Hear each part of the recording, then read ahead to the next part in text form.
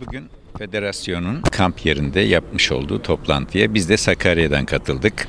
Ben her zaman söylüyorum gazeteci olarak karavansız karavancıyım ama çok güzel bir karavanı olan ve eee, Sakarya'da Karavancılar Derneği'nin kurulması için ilk adımı atan sevgili Osman kardeşimle beraberiz ve birlikte ikimiz yine buraya geldik. Bugünkü toplantıyı izledik. Bugünkü toplantı ile ilgili kısa bir değerlendirme alacağım senden sevgili Osman'cığım. Ee, bugünkü toplantıya katıldıktan sonra görmüş olduğum e, izlenimlerde e, güzel bir birlikteliğin olduğunu fark ettim.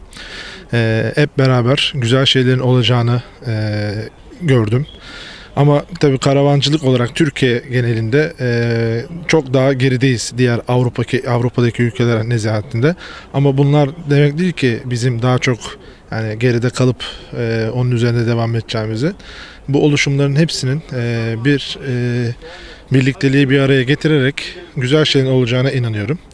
Bu izlenimde de e, biz e, Sakarya Kamp ve Karavan Derneği'ni kurmuş bulunduk.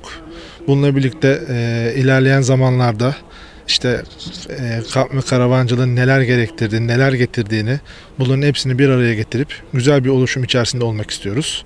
Bunun da öncülüğünde e, az evvel de söylemiş olduğun için e, karavansız karavancı olarak Şaban abi de yanımızda aldık. Beraber bu yola çıktık. Onun dahilinde bir şeyler yapmaya çalışıyoruz.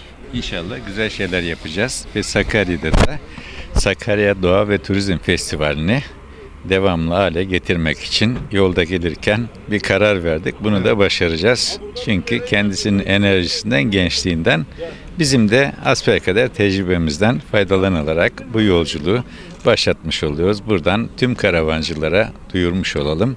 En yakın zamanda Sakarya'da Sakarya Doğa ve Turizm Festivali'nde buluşmak üzere diyoruz. Hoşçakalın efendim. Olun.